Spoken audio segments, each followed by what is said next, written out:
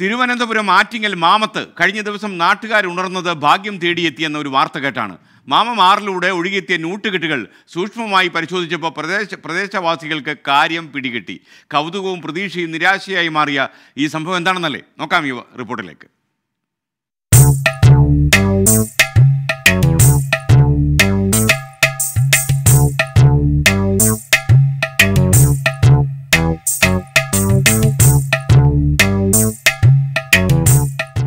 കഴിഞ്ഞ ദിവസം രാവിലെ ആറു മണിക്കാണ് മാമമാറ്റിൽ കുളിക്കാനിറങ്ങിയ കെട്ടിട നിർമ്മാണ തൊഴിലാളി ബിനു രാമചന്ദ്രൻ രണ്ട് പെട്ടികൾ കല്ലിൽ തടഞ്ഞു കിടക്കുന്നത് കണ്ടത്.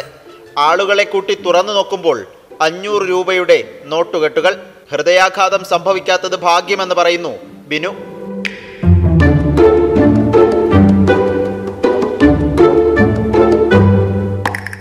ബോക്സായിട്ട് കിടന്നപ്പം എനിക്ക് നമുക്ക് വേറെ നോക്കാനില്ല.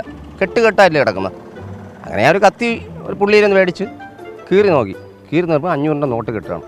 അങ്ങനെ ഒരു പേജ് ഞാൻ എടുത്തു അതിൽ നിന്ന് എടുത്തപ്പോൾ ഞാൻ ഒന്ന് ശകലം ഒന്ന് വിറച്ചു പോയി.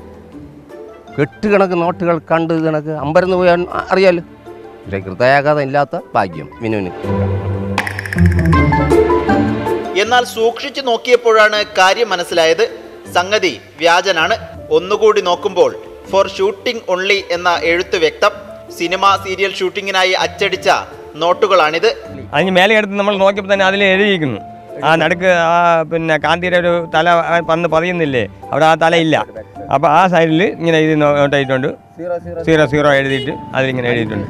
ഷൂട്ടിംഗ് നോട്ടാണെന്ന് എഴുതിയിട്ടുണ്ട്.